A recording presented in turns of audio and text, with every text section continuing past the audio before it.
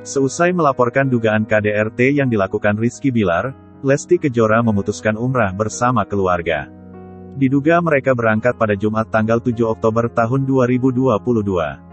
Kini beredar video saat Lesti menangis di pelukan sang ayah saat berada di Tanah Suci.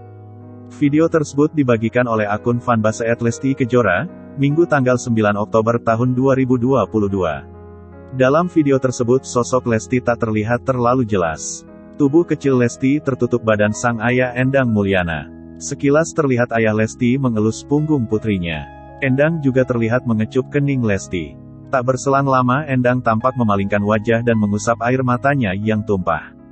Ibunda Lesti Sukartini pun tampak berusaha menenangkan putrinya.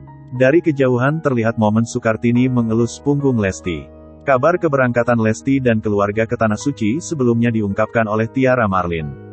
Tiara juga meminta doa kepada masyarakat untuk Lesti Kejora.